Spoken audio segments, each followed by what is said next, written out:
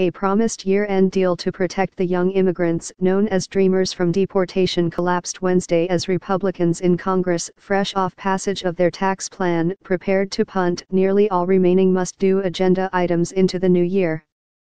Congressional leaders still hope that before leaving town this week they can pass an $81 billion disaster relief package with recovery funds for California wildfires and Gulf Coast states hit during the devastating hurricane season but passage even of that relatively popular measure remained in doubt as conservatives balked at the price tag. Rather than finish the year wrapping up the legislative agenda, the GOP majorities in the House and Senate struggled over their next steps.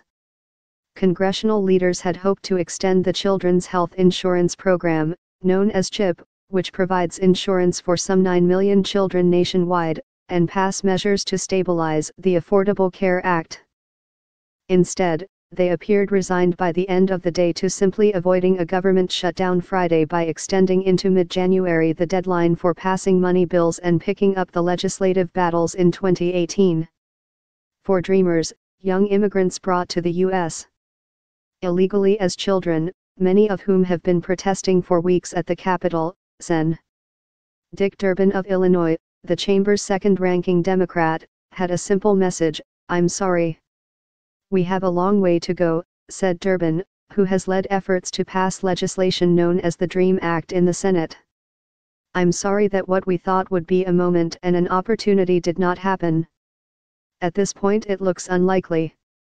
Nearly 800,000 immigrants who were protected under President Obama's Deferred Action for Childhood Arrivals order are at risk of deportation now that President Trump has announced the end of the program in March more than 1,000 immigrant advocates arrived in Washington this week pleading with lawmakers to negotiate a legislative solution before leaving town for the Christmas holiday, a deadline for action that Democratic leaders had insisted on earlier this year.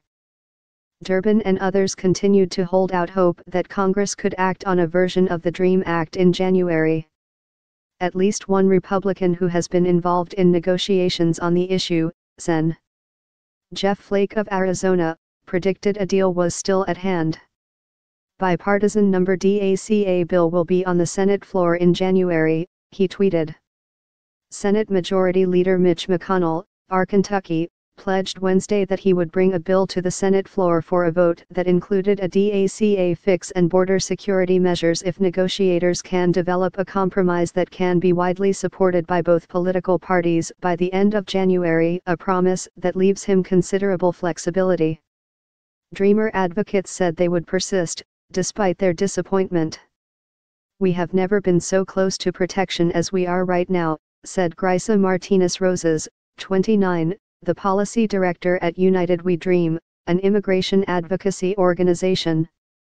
Whether it's today or it's January, immigrant young people are going to continue to grow our base and fight back.